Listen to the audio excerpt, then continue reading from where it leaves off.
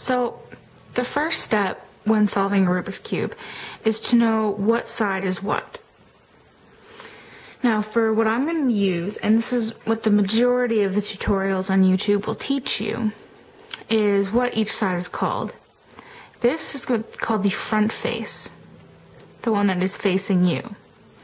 This is the up face. This is the left, the right, the back, and the bottom. Or I'll probably refer to it more as down. So it's the down.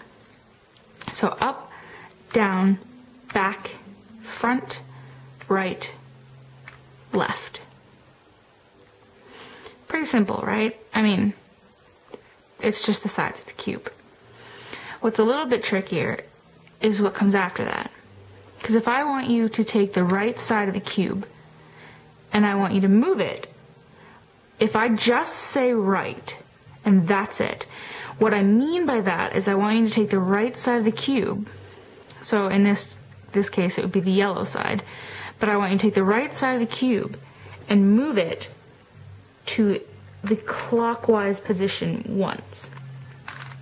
So what that means is that this side, if I say right, just means that you take this side and move it clockwise. That's it. Now if I say uh, right inverted, it just means that I want you to take the right side and move it counterclockwise. So if I say right, it means clockwise. If I say right inverted, it means counterclockwise. Same with every other every other side. If I want you to move up, if I say up, it means I want you to take the cube and move it clockwise. If I say up inverted, you got it. Just move it counterclockwise. So you'd move it this way. That's it. Same with, you know, same with the left side. If I say left, move it clockwise.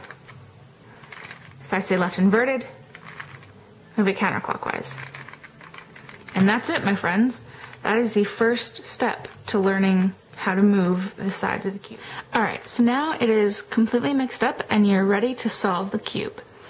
So the first step to solving the cube is to pick which side you want to start solving first.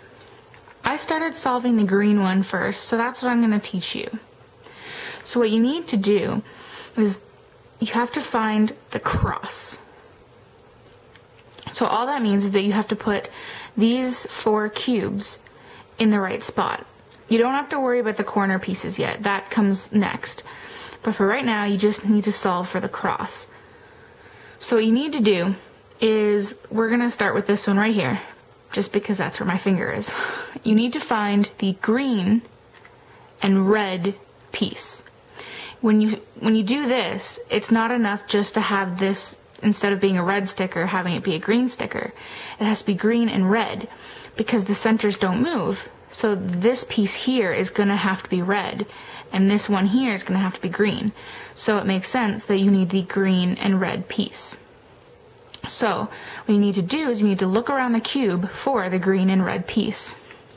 So you just kind of filter it around and there it is. There's the green and red piece. So now what you need to do is you need to take this green and red piece and get it up here.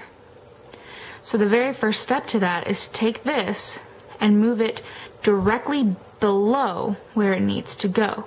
So since it needs to go here, I need it to go right here.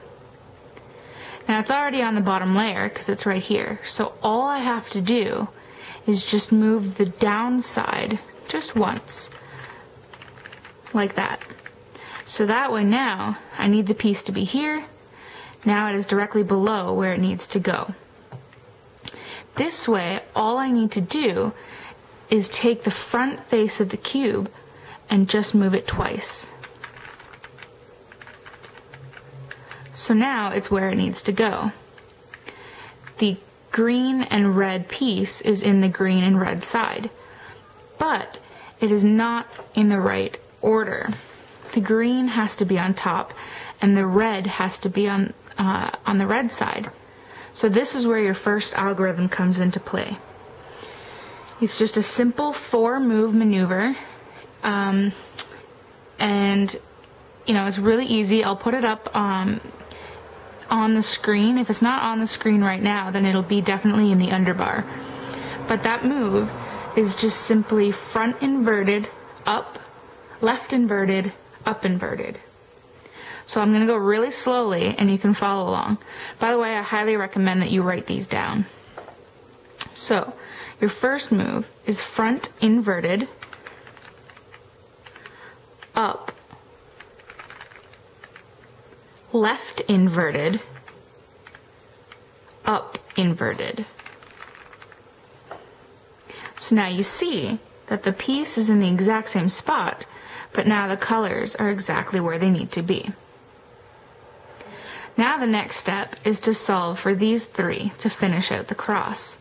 So exactly the same as what you did for this piece, you need to now find the green and white piece. So you search around the cube for the green and the white piece. Here it is. So same thing, you need to take this piece right here and you need to move it below where it needs to go. So it needs to go right here Therefore, right below it is right here. So again, it's already on the bottom layer. So all you have to do is swing the bottom over once. So that way it's directly below where it needs to go. Right here, needs to go here. And just like the last time, you just move the front face twice. One, two. This one's already worked out nicely for you because if you notice, the green sticker is already on top. So you're done this part now. You don't need an algorithm for it. So now you move on to the next side. What side do you need now? The green and the orange piece.